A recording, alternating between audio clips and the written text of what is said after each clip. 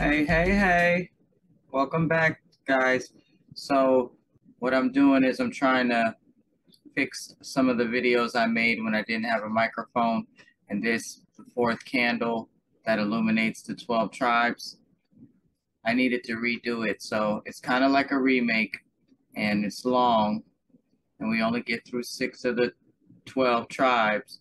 But stay to the end because it's good. It's really illuminating so here we go. This is another part of the bar here, Shibathayim. This is chapter 14, and it illuminates the 12 tribes of Yesarel, the fourth candle. Receive now the fourth candle of the bar here, Shibathayim. The fourth candle illuminates the Am Yesarel, which is the nation of Yesarel, the Shini Hugim, the two circles that form one church shall be Am Ehad, one nation.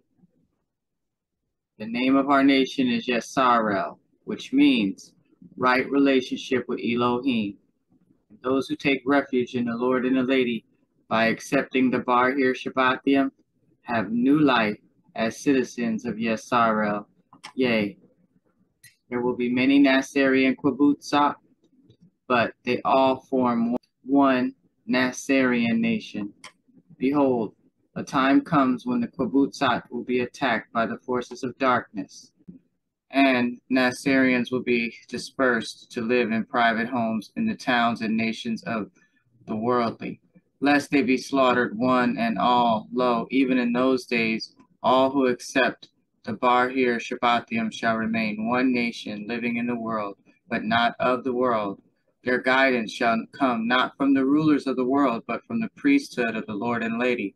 Yea, let the dispersed Nasareans gather in local Qehillot, which are congregations, to receive guidance from the Nazarim. And let all the Qehillot receive guidance from Em Heykal, the mother temple. Behold, Abdiel, even as you shall found Yesarel, which is the nation of those in right relationship with Elohim, there shall be a multitude of other nations. Yea, you will be greatly outnumbered. And all the multitude of nations outside of Yesar El are united by one thing. They wish to rule in place of Elohim. Yea, they struggle against Elohim when they should serve Elohim. Wherefore we call those nations Yisrael, which means he would rule as Elohim. For to this world has come Lucifer, the soldier of Satan, and has planted the tree of Yisrael in the soil and life of this world. For due to disobedience to the unwritten law, Adam and Eve fell and became citizens of Yisrael. Due to the Nafal, which is the fall, there was need of raising. Wherefore you shall establish the Nazarene priesthood on this world, for with the fall of Adam and Eve, Mavet, the way of death, entered this world, and wherever there is Mavet, there is need of raising, which is resurrection from the way of death unto the way of life. And those of the way of life in the Lord and Lady are the Nazareans, and even in dispersion, we are one nation. Though scattered amongst the towns and nations of the world, lo, when the days of dispersion come and the Qebutzot are no more, continue to meet in hidden congregations.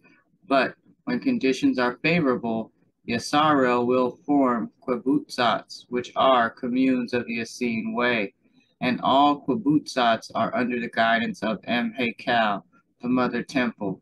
Behold, Yasarel is one nation, united in Mahase Kodesh, which is holy work. Wherefore all citizens of Yesara perform Mahase Yah, the work of Yah. Yea, all are Osim, all are workers. Every member of this nation performs the raising up of oneself and others. For we are Nazareans. Every Nazarene is a healer of the nations. For we live and teach the Essene way. Even so we express Mahase Kodesh in a variety of ways according to the Osei Tzadik, which is the righteous activity of the twelve tribes of workers. Yea, a Qebutzot of Yesarel shall be of Shinaim Asar Shavet Ha Ovadim, which is 12 tribes of workers. Lo, each tribe is a spoke of the one wheel, that is, the one nation of Yesarel. Therefore, the 12 tribes will not live separately from one another, but will live amongst each other.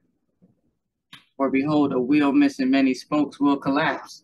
Therefore, when conditions permit, the Nasarean nation shall form Qebutzot, and each Qebutsah will strive to enlist members of each tribe. Now behold, the twelve tribes of workers of the one nation of Yesarel.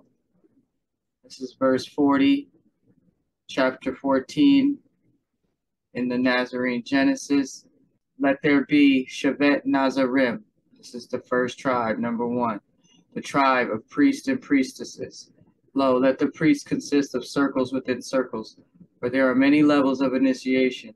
Let those who feel called to the priesthood first prove their sincerity as members of the congregation.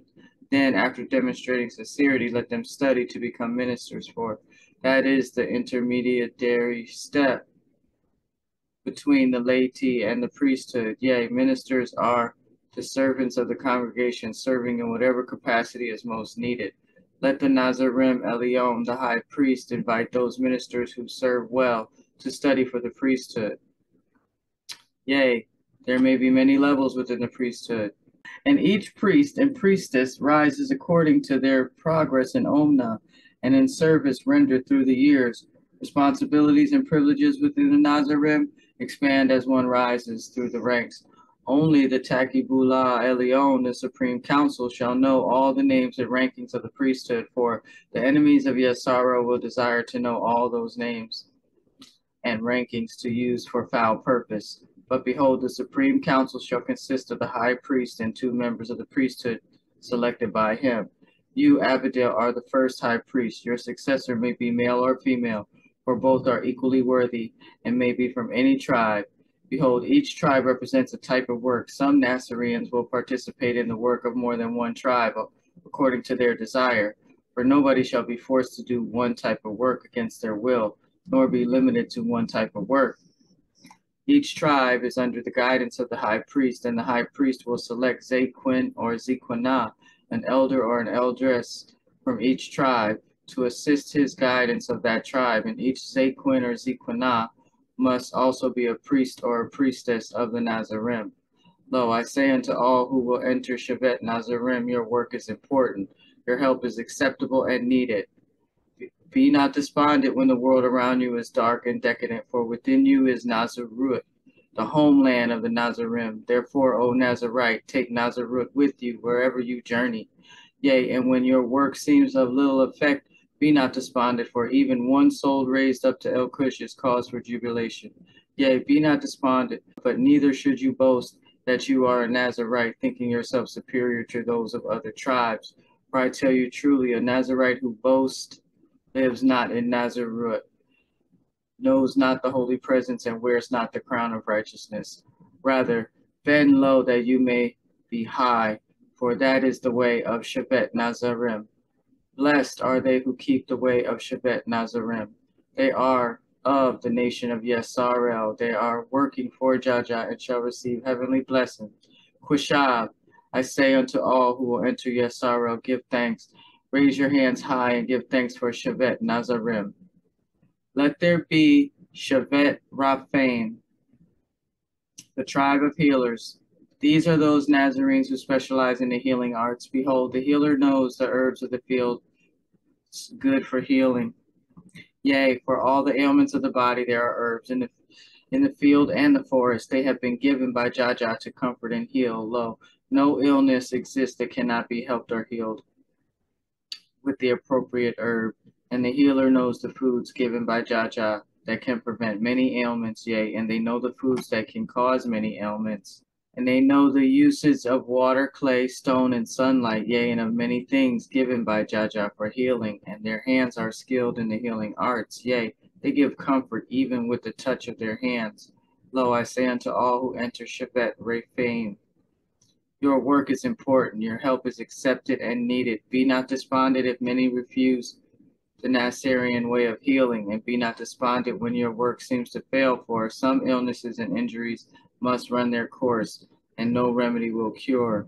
Yea, some illnesses and injuries are even unto death, and none may prevent this, for the body mankind wears on fallen earth is not that of the first garden of Cush. Therefore, be not despondent when your efforts seem to fail, for I tell you truly, the, the love you share with those who are beyond healing gives comfort to their souls, and a comforted soul rises higher than a despondent soul in the life to come. For love raises the soul of both the giver and the receiver.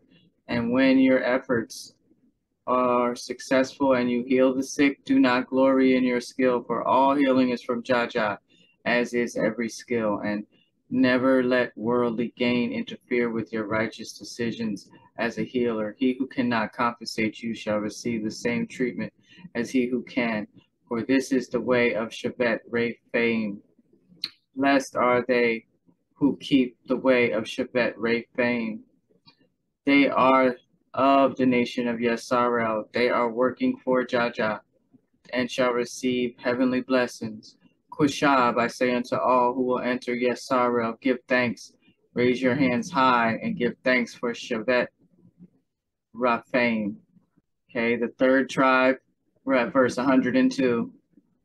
Um, let there be Shevet Ari Arayat the tribe of lions, which is the Nasarean army. Behold, this army wages war without killing. Yea, this is the Tizavat Hayat, the army of life. For they defend life from violence, though they kill not, they are as brave as lions. For each Nasarean lion shall be trained in Sawyen, and Sawyen is mastery of the movements of the body and mind. Lo, the only weapon permitted the Nasarean soldier are his philosophy, body, and wooden staff.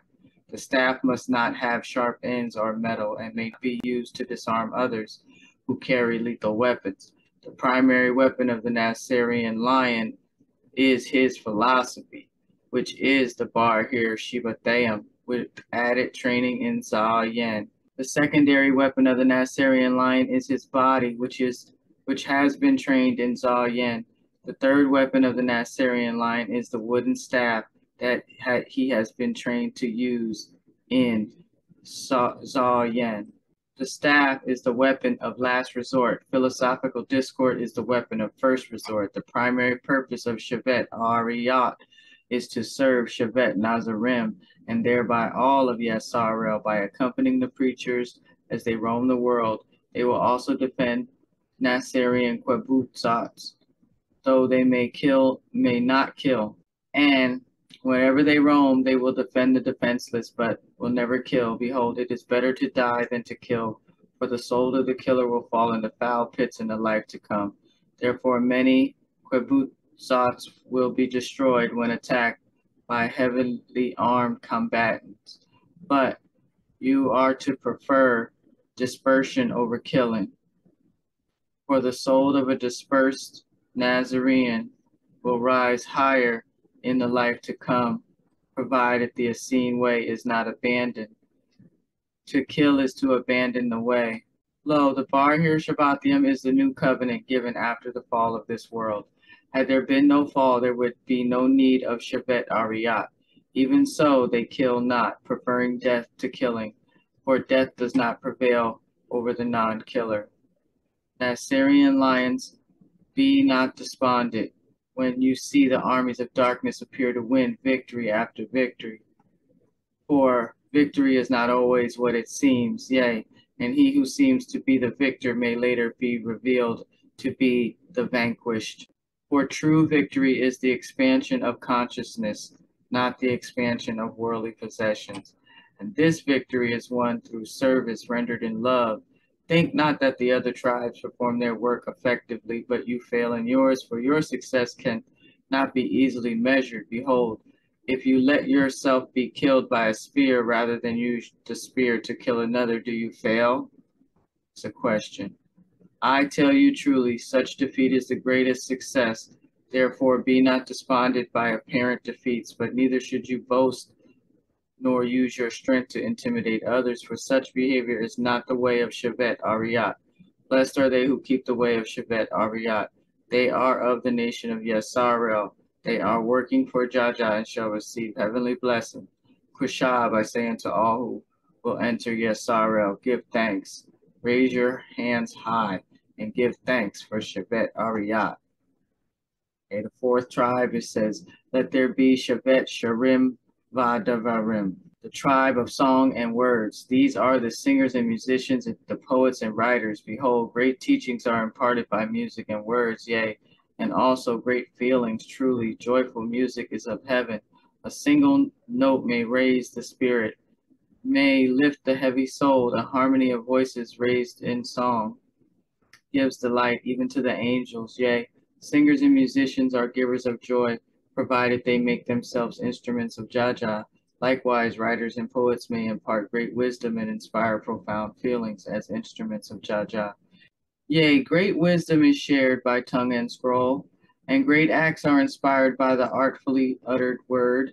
For behold, in the beginning is the word. Yea, communication is of Jaja, for it brings light into darkness.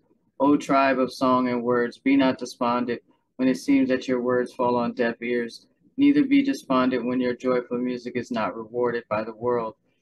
Do not be despondent and say, the work of other tribes is appreciated while ours is ignored.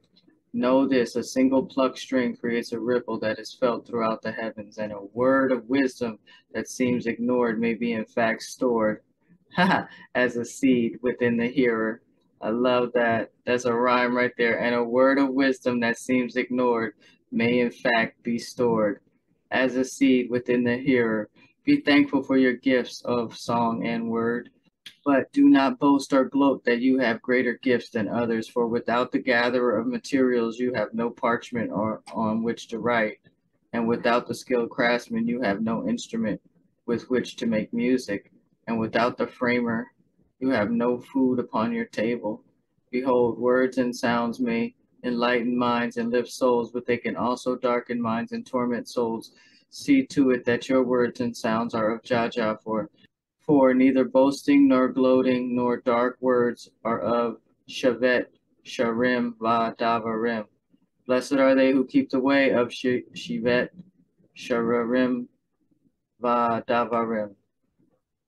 They are of the nation of Yasarel. They are working for Jaja and shall receive heavenly blessings.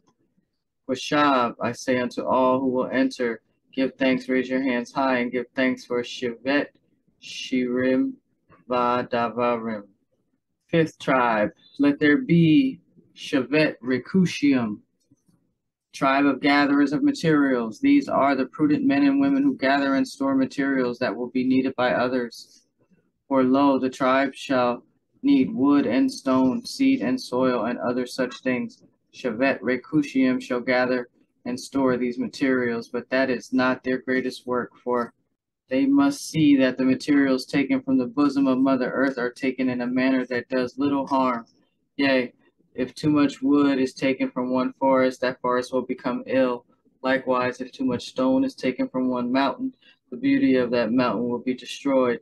Behold, Mother Earth is happy to share her soil, wood, and stones with you, for you are her children and have need of such things. What mother would deny her children the milk of her breast, but likewise what child would cut off the breast of his mother? Wherefore, those of Shivet Rekushium have a sacred charge, gather and store the raw materials of earth of the earth mother, but in a wise manner with sensitivity to her health. O Shavet Rekushim, do not become despondent thinking other work is more spiritual than ours, for I tell you truly, you are the stewards of nature's bounty, and that is a sacred trust. Yea, the spiritual work you do for Jaja places you in a position of trust. Show yourselves worthy of that trust, for if the steward becomes a thief, who will protect the earth mother? Therefore, be warned let not the temptation to profit from overzealous gathering of raw materials overtake you, for such is not the way of the Shivet Rekushium. Blessed are the gatherers of raw materials who keep the way of Shivet Rekushium.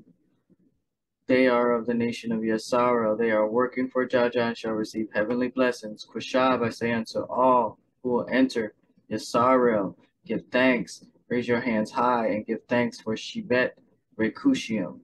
All right, here we are. Six. The sixth tribe is at verse 194. Let there be Shavet Ikarim, the tribe of farmers. Lo, the farmers sow the seeds that become the fruits and vegetables that feed the tribes. The farmer rises early with the angel of sun and works with all the angels of the earthly mother to grow the crops that feed the hungry. O Abdiel, just as the name of your father is Adam, which means soil, and the name of your mother is Eve, which means life, the farmer seeds dead soil with life to bring joy to the children of earth. For without the blessed work of the farmer, there is sadness and starvation in the land. Yea, the wise farmer works in harmony with Mother Earth and thereby brings joy to the children of earth. But be warned, an unwise farmer can bring death and despair, even as the wise farmer brings life and joy. For whereas the wise farmer mixes the principles of life with dead soil to make living soil, the unwise farmer will mix the poisons of death with living soil to make dead soil. Wherefore I say unto all who hear my voice in the day when poisoned foods are offered at low price in a fancy wrappings, know that those wrappings are not but the burial wrappings of those who partake. Truly, to those of that day I say, better to pay double for living food than to partake of poisoned food. Yea, poisoned food is that grown in poisoned soil, and living food is that grown in living soil. Wherefore I say unto those of the future, beware, for when Adam and Eve are in union, there is joy, but Adam without Eve is death and despair. Behold, there are twelve tribes of workers in Yesarel, but those of each tribe should touch the soil. Wherefore, in each Nasarean Qebutsah, those of each tribe will work in the gardens in the mornings or evenings as needed according to the view of the garden master. But those of Shevet Ikarim, the tribe of farmers, will specialize in this sacred work. Farmers, do not become despondent, thinking your work mundane and of the earth but the work of priest transcendental and of the heavens, nor should you think your fields less beautiful than the products of the artist.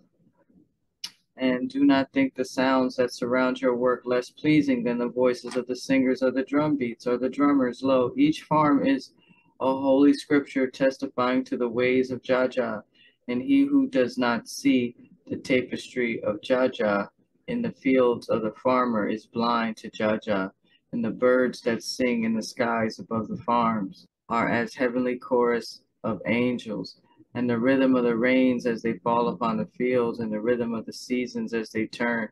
What drummer can surpass these? Yea, do not think your work less than the other work, but neither should you think your work more important than the work of others. Such is not the way of Shevet Ikarim. Lo, you would be homeless without the house builder, and clothesless without the seamstress. Yisrael is one nation, and each tribe of workers contributes to the blessedness of this nation.